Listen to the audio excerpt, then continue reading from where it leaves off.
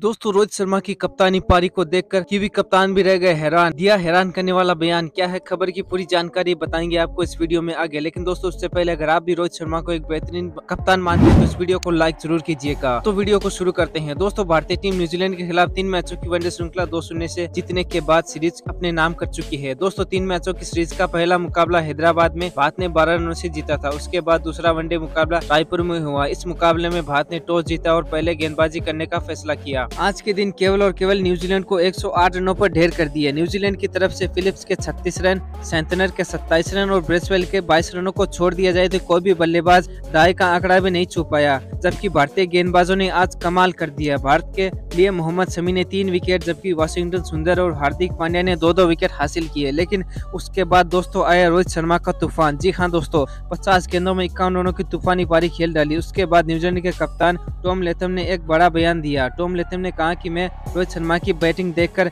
हैरान रह गया, जहाँ पर हमारे बल्लेबाज नई गेंद से स्ट्रगल कर रहे थे। वहाँ पर रोहित शर्मा ने दिखा दी कि ऐसी पिच पर इस तरह बल्लेबाजी की जाती है। रोहित शर्मा की बल्लेबाजी देखकर मैं इसलिए भी खुश हूँ कि इतने कठिन पिच पर एक अच्छी पारी खेली। अमूमन हम रोहित शर्मा से बहुत परेशान रहते हैं। हमने एक प्लानिंग की थी कि आते आते रोहित शर्मा का विकेट ले लेंगे और टीम इंडिया को बैकफुट पर धकेल देंगे, लेकिन रोहित शर्मा ने हमारे प्लान पर पानी फेर दिया और शानदार इक्यावन रन जड़ डाले।